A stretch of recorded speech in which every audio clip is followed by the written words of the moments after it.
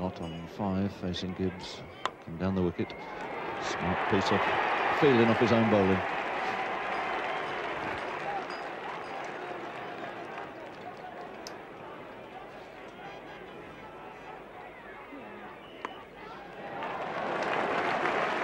He's got that away, just bubbling over the line.